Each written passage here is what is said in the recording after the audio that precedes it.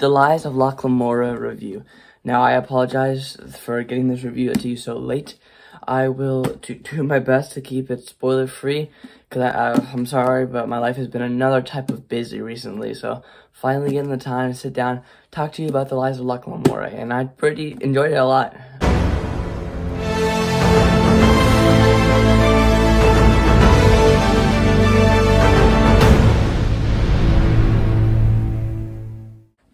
All right, The Lies of Locke Lamora.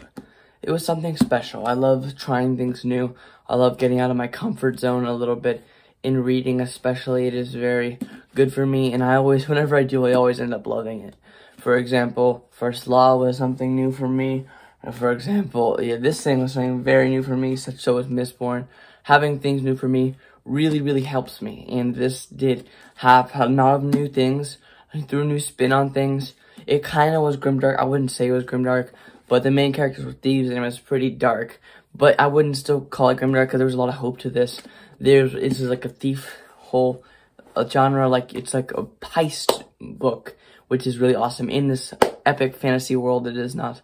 It is a high fantasy, definitely a great, great fantasy world. And if that intrigues you, definitely go check it out because they do some stuff really well. Like the Locke and Jaw scenes in this book were done to perfection. Locke and Jaw has art. Locke and John, John, John, or something like that. And then it's already entered my top ten friendships. And yeah, it's it's elite. It's a, it's a very elite book. I I think it's top tier writing. I really enjoy his writing. Scott Lynch has put out on the table here. Think he did a great job writing a book, and I'm really really happy he did write a book. Love the characters. I love the ideas. I love the flashbacks. This was kind of set up like a Stormlight book if you read those. Has interludes, has parts and stuff like that. Again, I don't think they executed as well as Stormlight, but still, we're here. And yeah, that's that's where it happened. A lot of execution was done very well. They nailed hammer on the head, especially with characters like Bug and how their storyline played out. P characters who we don't know who are good, characters who you don't know, mysterious characters like the Grey King are really, really awesome, and the flashbacks are top tier, as I said before. Where my criticism comes for this book is just, I don't know, it's not really, doesn't have the hook for me to keep going with Locke. They're like, they have this heist book, which is interesting, but I wasn't connected to the characters until the very end. It took me a long time. It took me a long time to get into this book, is where my criticism comes, which is not terrible, because I still, like, I it got me into it. But for the first 50 pages, had no care whatsoever, did not know what was going on whatsoever. And uh, of course, that comes with just entering a brand new high fantasy world. I haven't done that in a while, but entering a new one kind of confuses you. And I was kind of confused for the first 50 to 100 pages. I was like, I don't know what's going on, and I'm just going to let it run with it. And then once I got onto it, I really, really enjoyed it and did not regret reading it.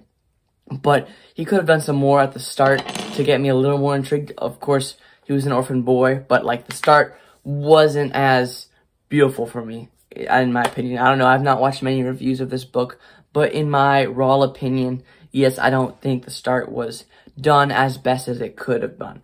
And that's my only criticism for this book. Other than that, I really did enjoy it. I definitely recommend you reading The Lies of Locke Lamora. It is a book by Scott Lynch, and I think there's two other books out.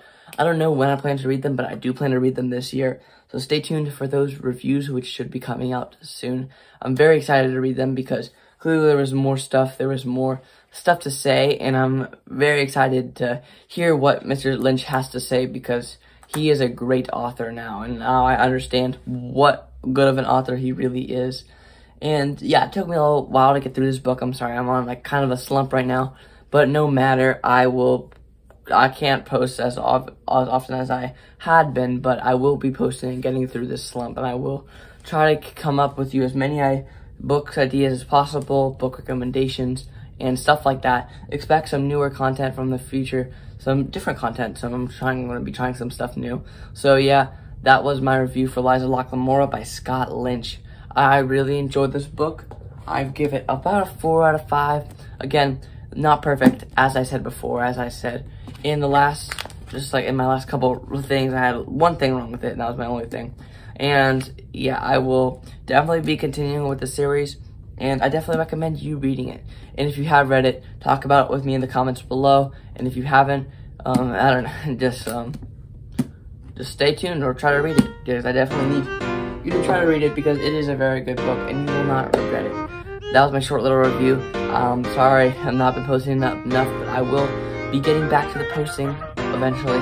It's kind of crazy life right now, but that was the video for today. And see you guys in the next video. Hope you're having an amazing day and peace out.